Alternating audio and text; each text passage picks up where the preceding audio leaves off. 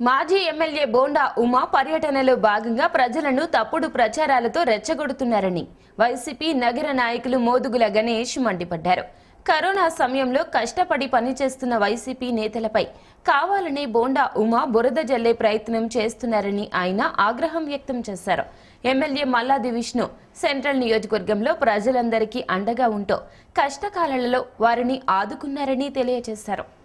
ప్రకాష్ నగర్లోని అరవై మూడవ డివిజన్ వైసీపీ కార్యాలయంలో ఏర్పాటు చేసిన విలేకరుల సమావేశంలో వైసీపీ పార్టీ నగర నాయకులు మోదుగుల గణేష్ మాట్లాడుతూ లాక్డౌన్ ప్రారంభమైన నాటి నుండి ప్రజలకు అండగా నిలిచింది వైసీపీ ప్రభుత్వేనని గుర్తు చేశారు. టీడీపీ నేతలు మాటలకు మాత్రమే పరిమితమయ్యారు కానీ చేతలకు మాత్రం దూరంగా ఉన్నారన్నారు. ప్రజలను రెచ్చగొట్టి పార్టీ మనుగడ కోసం బోండా ఉమా మాట్లాడుతున్నారని ఆయన మండిపడ్డారు. కరెంటు బిల్లులు రద్దు చేయాలని టీడీపీ నేతలు మాట్లాడటం హాస్యాస్పదమని వారికి మాట్లాడే నైతిక హక్కు కూడా లేదని అన్నారు.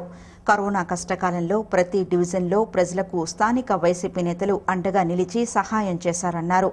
ఇంకొకసారి టీడీపీ నేతలు మాట్లాడే ముందు ఆలోచించుకొని మాట్లాడాలని హితవు పలికారు. సాయంత్రం సుమారు నాలుగు ఐదు గంటల సమయంలో మన ఈ నియోజకవర్గ మాజీ శాసనసభ్యులు బోండా ఉమామహేశ్వరరావు గారు ఈ డివిజన్లోకి వచ్చారు. తప్పులేదు. రావాలి. అందరిని పలకరించే బాధ్యత ప్రతిపక్ష పార్టీలో ఉన్నారు కాబట్టి మాజీ ఎమ్మెల్యే గారు చేయాలి. దాన్ని ఎవరూ తప్పడటానికి ఎవరు లేదు. ప్రతి ఒక్కరికి హక్కు ఉంది. కానీ వచ్చి సందర్భం లేకుండా ప్రజల్ని రెచ్చగొట్టే మాటలు మాట్లాడి ప్రజల్ని తప్పుదోవ పట్టించే కార్యక్రమాలు చేస్తున్నారు మన బాండవమ్మ గారు. దాని ముఖ్య ఉద్దేశమే ఈ ప్రెస్ మీట్ అని అందరికీ తెలియజేస్తున్నాం సోదరా. బాండవమ్మ మేస్టర్ అంటున్నారు నిన్న. కరోనా కష్టకాలం వచ్చింది. కనీసం ఈ సమయంలో ప్రజల్ని ఆ- పలకరించాల్సిన ప్రజల్ని ఆదుకోవాల్సిన మరి ప్రజాప్రతినిధులు ఎమ్మెల్యే మన సెంట్రల్ శాసనసభ్యులు మల్లాది విష్ణు గారు కనపడట్లేదు రావట్లేదు అంటున్నారు. మల్లాది విష్ణు గారు వస్తున్నారో రావట్లేదో మీరు ఇంట్లో కూర్చుంటే తెలియదు బాగుండమామేశ్వరారు మల్లాది విష్ణు గారు అన్ని కార్యక్రమాల్లో డిబేట్లో పాల్గొంటున్నారు ఎవరైనా కష్టకాలంలో ఉంటే కనపడి వెళ్తున్నారు. మీకులాగా బుల్లెట్ల మీద మాస్కులు లేకుండా ఇలాంటి టైంలో ఒక శాసనసభ్యుడిగా ఐదు సంవత్సరాలు చేసిన మీకు ఒక కనీసం ఒక పౌరుడికి ఉండాల్సిన ఆలోచన కూడా లేకుండా మీరు ఒక బండి మీద జనాల్లో వందల మంది జనాల్లో తిరిగేస్తున్నారు. దీన్ని బట్టి మీకు ప్రజల ఆరోగ్యం పట్ల ప్రజల యొక్క మన వాళ్ళ జాగ్రత్తల పట్ల అలాగే ప్రభుత్వ సూచనల పట్ల ఈ కరోనా పట్ల మీకు ఎంత జాగ్రత్త ఉందో దాని మీద మీకు ఎంత మరి దాని గురించి మీరు ఏమనుకుంటున్నారో మాకైతే తెలియదు కానీ మా ఎమ్మెల్యే మరి మల్లాది విష్ణు గారికి ఏది ఎలా చేయాలో తెలుసు. ప్రభుత్వ సూచనలు పాటిస్తూ కేంద్ర ప్రభుత్వ మార్గదర్శకాలను పాటిస్తూ అవసరమైన చోట అవసరమైన మేరకు ఆయన ఒకళ్ళిద్దరితో వచ్చి కనపడి తగు జాగ్రత్తలు ప్రజల ప్రాణాలకు ఎటువంటి రాకుండా చూసి వాళ్ళకి సాయం చేసి వెళ్ళే మనస్తత్వం మా ఎమ్మెల్యే గారి డివిజన్లో మన మాజీ ఎమ్మెల్యే బోండవమ్మ గారు పర్యటించారు. అయితే ప్రభుత్వం చేసే కార్యక్రమాలు ఆయన కనపడలేదని అడుగుతున్నాం. ప్రతి విషయంలో కూడా ప్రతి డోర్ టు డోర్ వాలంటీర్ల ద్వారా కానీ వైసీపీ నాయకుల ద్వారా కానీ మన ప్రజెంట్ ఎమ్మెల్యే మల్లాది విష్ణు గారి ద్వారా కానీ ఏ కష్టకాలంలో ఉన్న ప్రతి గడపని వెండి తట్టి వాళ్ళ బాధలు తెలుసుకుని వాళ్ళకి ఏం కావాలో కూడా సకాలంలో స్పందించి ప్రతి కార్యక్రమంలో కూడా ముందుండి మన సెంట్రల్ ఎమ్మెల్యే మల్లాది విష్ణు గారి ఆదేశాల మేరకు మరి స్థానిక కార్పొరేటర్గా అభ్యర్థి మోదుగుల తిరుపతమ్మ గారు భర్త గారు గణేష్ గారు మేమంతా కూడా వైసీపీ కార్యకర్తలు స్పందించి ప్రతి విషయంలో కూడా ఎండుదండుగా ఉండి అధికారులతో మాట్లాడి మేము కార్యక్రమాలు చేపడుతున్నాం. ఎలాంటి ఇబ్బందులు ఇవ్వండి అరవై మూడో డివిజన్లో వైసీపీ పార్టీ చాలా యాక్టివ్గా ఉంది. ప్రజల పట్ల కష్టపడి పనిచేస్తున్నాం. జై జగన్.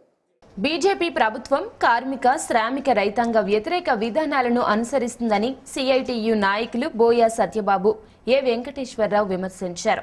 బీజేపీ అనుసరిస్తున్న విధానాలకు వ్యతిరేకంగా ఉద్యమాలు నిర్వహించే వారిని పోలీసులతో అణచివేయడాన్ని వారు ఖండించారు.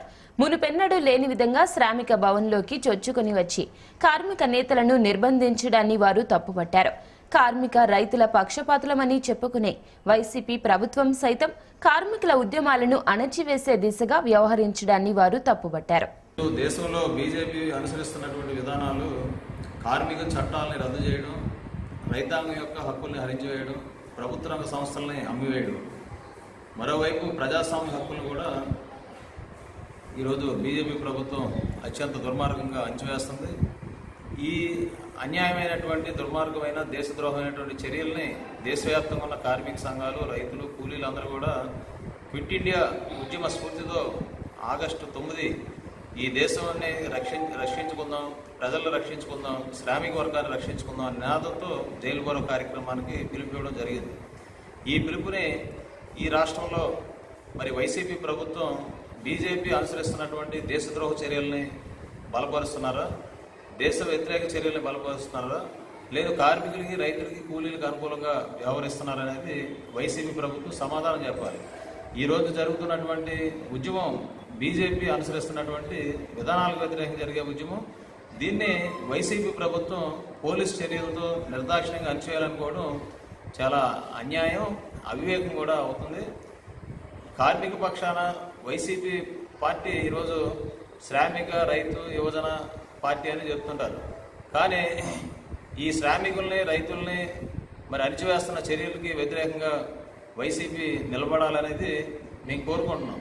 అలా కాకుండా బీజేపీ విధానాలని మేము అనుసరిస్తాం రైల్వేలను అమ్మేసిన అంగీకరిస్తాం ఎల్ఐసీలని ప్రైవే ప్రైవేటీకరించిన అంగీకరిస్తాం కార్మిక చట్టాలు రద్దు చేసిన మేము అంగీకరిస్తాం రైతాంగాన్ని హక్కులు లేకుండా చేసిన అంగీకరిస్తామని బీజేపీ బాటలో ప్రయాణం చేస్తే మాత్రం మీరు కూడా ఈ దేశానికి ద్రోహం చేసిన వారితో చేతులు కలిపినట్లుగా భావించవలసి వస్తుందనేది సిఐటిగా హెచ్చరిస్తున్నాం.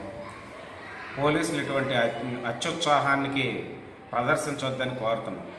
ఎందుకంటే ఈరోజు దేశవ్యాప్తంగా కార్మికుల సమస్యలు రైతుల సమస్యలు వ్యవసాయ కార్మికుల సమస్యలు లాక్డౌన్ వల్ల తీవ్రంగా పెరిగిపోయింది. ఈ సమస్యలను పరిష్కరించాలని దేశవ్యాప్తంగా ఈరోజు జైలు బరో కార్యక్రమాన్ని నిరసనలకి రైతు వ్యవసాయ కార్మిక సంఘాలు కౌలు రైతు సంఘాలు పిలుపునిచ్చినాయి. దాంట్లో భాగంగా వన్ టౌన్లో ఈరోజు నిరసన కార్యక్రమాన్ని నిర్వహించ నిర్వహించ నిర్వహించాలనుకున్నాం. ఈ నేపథ్యంలోనే సిఐటియు పశ్చిమ సిటీ ప్రధాన కార్యదర్శి బోయి సత్యబాబు గారిని. ఎక్కడైనా కానీ పోలీసులు హౌస్ దగ్గరకు వచ్చి ప్రివెంటివ్ అరెస్టులు చేస్తారు. లేదంటే ఆఫీసుల దగ్గరకు వచ్చి బయట కూర్చొని ఎవరిని బయట రానివ్వకుండా చేస్తారు. కానీ పోలీసులు అత్యుత్సాహం ప్రదర్శించి ఆఫీసులోకి చొరబడి ఆఫీసులో ఉన్న సత్యబాబు గారిని మిమ్మల్ని అరెస్ట్ చేస్తున్నామని చెప్పి నిర్బంధించడం అనేది తీవ్రంగా ఖండిస్తున్నాం. ఇటువంటి చర్యలు పోలీస్ శాఖ యొక్క ప్రతిష్టని దిగదా దిగజారుస్తాయి అని చెప్పి కూడా మేము చెప్పదలుచుకున్నాం. ఎందుకంటే ఈరోజు మేము చేసిన నిరసన ప్రజలకు సంబంధించి. రమేష్ హాస్పిటల్ స్వర్ణ ప్యాలెస్ యాజమాన్యాలపై హత్యా నేరం నమోదు చేయాలని ఐఎఫ్టియు నాయకుడు పోలారి పీడీఎస్యు నాయకులు రవిచంద్ర డిమాండ్ చేశారు. ఎలాంటి అనుమతులు లేకుండానే హోటల్లో కోవిడ్ కేర్ సెంటర్ నిర్వహిస్తుంటే అధికారులు ఏం చేశారని వారు ప్రశ్నించారు. మృతుల కుటుంబాలను ఆదుకోవాలని వారు కోరారు. ఐఎఫ్టియు పీడీఎస్యు ఆధ్వర్యంలో స్వర్ణ ప్యాలెస్లో జరిగిన ప్రమాదంలో ఆసుపత్రి హోటల్ యాజమాన్యాలపై హత్యానేరం నమోదు చేయాలని కోరుతూ ధర్నా జరిగింది. లెనిన్ సెంటర్లో జరిగిన ఈ ధర్నాకు ఐఎఫ్టియు నాయకుడు పోలారి పీడీఎస్యు రాష్ట్ర నాయకుడు రవిచంద్ర నేతృత్వం వహించారు. ఈ సందర్భంగా వారు మాట్లాడుతూ కోవిడ్ బారిన పడి చికిత్స పొందుతున్న వారు అగ్ని ప్రమాదంలో కాలి మరణించడానికి రమేష్ హాస్పిటల్ స్వర్ణ ప్యాలెస్ యాజమాన్యాల నిర్లక్ష్యమే కారణమన్నారు. ఈ రెండు యాజమాన్యాలపై హత్యానేరం కింద కేసులు నమోదు చేయాలని వారు డిమాండ్ చేశారు. కోవిడ్ చికిత్సలు పేరిట ప్రైవేటు ఆసుపత్రులు చేస్తున్న దందాపై ప్రభుత్వ నియంత్రణ లేకపోవడంతో ఈ దుర్ఘటన జరిగిందన్నారు. హోటల్ను కోవిడ్ సెంటర్గా మార్చిన సమయంలో కనీస భద్రతా ప్రమాణాలు పాటించకుండా వ్యవహరించిన యాజమాన్యాలపై ప్రభుత్వం చర్య తీసుకోవాలని వారు డిమాండ్ చేశారు. స్వర్ణ ప్యాలెస్లో జరిగిన ప్రమాదం ఏదైతే ఉందో అది మామూలు ప్రమాదంగా చూడటం కాదు. ఆ మరణాలు రాజకీయ హత్యలుగా మేము భావిస్తూ ఉన్నాం. ఎందుకంటే ఇవాళ ప్రభుత్వం చాలా ఆర్భాటంగా చెప్తా ఉంది. ఆరోగ్యశ్రీ కింద కరోనా చేర్చమనే రకంగా చెప్తా ఉంది. కానీ వాళ్ళ కార్పొరేట్ హాస్పిటల్ రమేష్ హాస్పిటల్ లాంటి హాస్పిటల్ అన్ని ఈరోజు ఏదైతే కరోనా భయం ఉందో ఆ భయాన్ని క్యాష్ చేసుకుంటూ సొమ్ము చేసుకుంటూ వేల రూపాయలు వసూలు చేస్తూ లక్షల రూపాయలు వసూలు చేస్తూ వాళ్ళ కరోనా పేషెంట్ని దోచుకుంటా ఉన్నారు. మరో పక్కన అనుమతులు లేకుండా ఇవాళ లాడ్జీలు వాటిని వాటిని తీసుకుని వాటిని హాస్పిటల్కి మార్చేసుకుంటూ దోపిడీ చేస్తూ ఉన్నారు. ఆ కారణంగానే వాళ్ళ ప్రమాదం జరిగింది. ఆ ప్రమాదంలో పది మంది చనిపోయారు. ఈ ప్రమాదానికి ప్రథమ ముద్దాయిగా ప్రభుత్వం బాధ్యత వహించాలి అదే రకంగా రమేష్ పా- హాస్పిటల్ యాజమాన్యం మరి స్వర్ణ ప్యాలెస్ యాజమాన్యం బాధ్యత వహించాలి ఎందుకంటే ఇవాళ ఎలాంటి మరి భద్రతా చర్యలు లేని పరిస్థితులు ఈ రకంగా మరి ప్రమాదాలు జరుగుతామంటే మరి ప్రభుత్వం ఎందుకు ఇంతకాలం ఇవాళ రెండు కమిటీలు వేశారు? రెండు కమిటీలు వేసి మేము యాక్షన్ తీసుకుంటామన్నారు కానీ ఒక పక్కన బాధితులు రాకముందే యాభై లక్షల పరిహారం ప్ర- ప్రకటించారు. పరిహారం ప్రకటించి చనిపోయిన తర్వాత ప్ర- పరిహారం ప్రకటిస్తున్నారు. చనిపోక ముందు ప్రాణాలు కాపాడటానికి ఎలాంటి చర్యలు తీసుకోవట్లా? ప్రభుత్వం సరైన చర్యలు తీసుకుంటే వచ్చి తీసుకుంటే సక్రమైన హాస్పిటల్ నిర్మించుంటే ఇవాళ ఈ పరిస్థితి వచ్చేది కాదు. ఆ రకంగా రేపు భవిష్యత్తులో ప్రమాదాలు జరగకుండా ప్రభుత్వం చూడాలి. ముఖ్యంగా ఏదైతే ప్రమాదం జరిగిందో ఆ ప్రమాద మరణాలకి కారణంగా రమేష్ హాస్పిటల్ యాజమాన్యం మీద స్వర్ణ ప్యాలెస్ యాజమాన్యం మీద హత్యా కింద కేసులు నమోదు చేసి శిక్షించాలని చెప్పిన రకంగా కార్పొరేట్ల దోపిడిని అరికట్టాల రకం ప్రభుత్వం డిమాండ్ చేస్తున్నాం స్వర్ణ ప్యాలెస్ ప్రమాద ఘటనపై ఘటనకి ప్రభుత్వమే బాధ్యత వహించాలి. ఇటు రమేష్ బాబు హాస్పిటల్ యాజమాన్యం మీద స్వర్ణ ప్యాలెస్ యాజమాన్యం మీద హత్యానేరం కింద క్రిమినల్ కేసు నమోదు చేయాలని ఈరోజు సిపిఎంఎల్ న్యూ డెమోక్రసీ పార్టీ ఆధ్వర్యంలో ధర్నా జరిగింది. రాష్ట్ర ప్రభుత్వం ప్రైవేట్ హాస్పిటల్లో కరోనా కరోనాని ఆరోగ్యశ్రీలో చేర్చినా కానీ దాని కింద వైద్యం చేయకుండా ఈరోజు కార్పొరేట్ యాజమాన్యాలు రోజుకి లక్ష రూపాయలు యాభై వేల రూపాయలతోటి వైద్యం చేస్తూ ఉన్నారు. హాస్పిటల్ కాకుండా ప్రైవేటు హోటల్స్ని లాడ్జీలని వీళ్ళు హాస్పిటల్గా మార్చి కరోనా వైద్యం చేస్తూ ఉన్నారు. లక్షల రూపాయల వ్యాపారం జరుగుతూ ఉంది కరోనా పేరుతోటి. దోపిడీ చేస్తూ ఉన్నారు. ప్రజల ప్రాణాలతో చెలగాటమాడుతూ ఉన్నారు. ప్రభుత్వం వీటి మీద ఎటువంటి మానిటరింగ్ లేదు నియంత్రణ లేదు కనీస పరిశీలన కూడా లేదు. ఈ సందర్భంగా స్వర్ణ ప్యాలెస్లో జరిగిన ప్రమాద ఘటన ఏదైతే ఉందో దీని మీద రాష్ట్ర ప్రభుత్వం బాధ్యత వహించాలి. కానీ ఇక్కడ ప్రమాదం జరిగిన తర్వాత ప్రభుత్వం దీని ప్రజల దృష్టిని ప్రజల దృష్టి మళ్ళించేందుకు ఈరోజు యాభై లక్షల రూపాయల పరిహారం పేరుతోటి విషయాన్ని డైవర్ట్ చేస్తుంది మాజీ శాసనసభ్యులు బోండా ఉమామహేశ్వరరావు అరవై ఒకటో డివిజన్ వాంబే కాలనీలో ప్రజా సమస్యలు తెలుసుకునేందుకు పర్యటించారు. ఈ సందర్భంగా బోండా ఉమా స్థానిక ప్రజలను స్థానికంగా ఉన్న కార్మికులను కలిసి వారి సమస్యలు అడిగి తెలుసుకున్నారు. నాలుగు నెలల నుంచి అనేక ఇబ్బందులు పడుతున్నా పట్టించుకునే నాదుడే లేరని స్థానిక ప్రజలు ఆవేదన వ్యక్తం చేస్తున్నారు. అనంతరం బోండా ఉమా మాట్లాడుతూ గత టీడీపీ ప్రభుత్వ హయాంలో ఎవరైనా చనిపోతే చంద్రన్న బీమా పథకం ద్వారా రెండు లక్షల రూపాయలు ఇచ్చేవాళ్ళమని ఏ పేదవారి ఇంట్లో అయినా పెళ్ళి జరిగితే చంద్రన్న పెళ్ళి కానుక ద్వారా యాభై వేలు ఇచ్చి సాయం చేసేవాళ్ళమని ఈనాడు ప్రజలు ఒక్క ఛాన్స్ అంటే నమ్మి వైఎస్ఆర్సీపీ ప్రభుత్వానికి ఓటు వేసి చేసిన పొరపాటుకు రాష్ట్రంలోని పేద ప్రజలందరూ ఇబ్బందులు పడాల్సిన పరిస్థితి వచ్చిందని అన్నారు. ప్రభుత్వం వీరిని ఆదుకోకపోగా స్థానికంగా ఉన్న ఎమ్మెల్యే కూడా వీరిని పట్టించుకోవడం మానేశారని గతంలో అధికారంలో ఉన్నప్పుడు మరలా ఇప్పుడు ప్రతిపక్షంలో ఉన్నప్పుడు కూడా మేము నిత్యం ప్రజల్లో ఉంటున్నామని తెలుగుదేశం పార్టీ అంటే ప్రజాసేవ పార్టీ అని అన్నారు. తక్షణమే చిరు వ్యాపారులకు మరియు అసంఘటిత రంగ కార్మికులకు కుటుంబానికి పదివేల రూపాయలు ఆర్థిక సాయం చేయాలని ప్రభుత్వాన్ని డిమాండ్ చేశారు. ఈ కార్యక్రమంలో అర్బన్ అధికార ప్రతినిధి నవనీతం సాంబశివరావు స్థానిక division in charge Dasari Kanakarao division అభ్యర్థి దాసరి ఉదయశ్రీ షరీఫ్ అన్నాబతుల శ్రీను జేపీ భాష తదితరులు పాల్గొన్నారు. పద్నాలుగు నెలల జగన్మోహన్ రెడ్డి పరిపాలన సామాన్యుల జీవితాలని తలకిందులు చేసింది.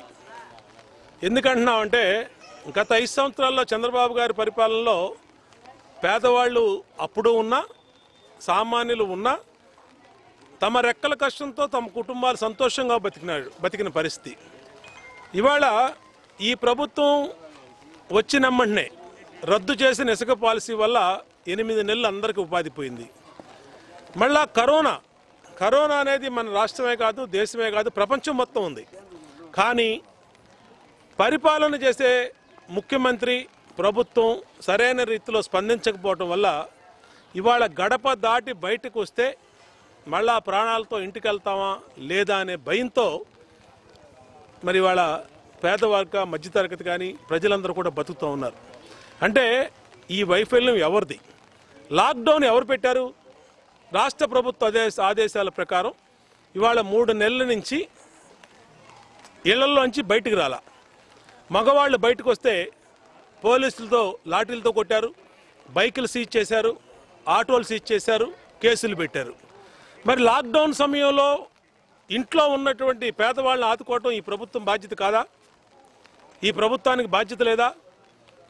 రెండు వేల రెండు వందల రూపాయలు వచ్చే కరెంటు బిల్లుని లాక్డౌన్ సమయంలో పది రెట్లు పెంచి రెండు వేలు ఎవరన్నా చేస్తారా? ఇది తుక్లక్ పరిపాలన కాదా? ఇవాళ అందుకనే తెలుగుదేశం పార్టీ పోరాటం చేస్తున్నాం. లాక్డౌన్ అనేది మీ వైఫల్యం వల్ల ప్రజలు ఇళ్ళలో కూర్చున్నారు. లాక్డౌన్ సమయంలో వచ్చిన కరెంటు బిల్లులు రద్దు చేయండి. లాక్డౌన్ సమయంలో ఉపాధి కోల్పోయినటువంటి వాళ్ళందరికీ కూడా పదివేల రూపాయలు కుటుంబానికి ఇచ్చి ఆదుకోండి. వార్తలు ముగించే ముందు ముఖ్య అంశాలు మరోసారి.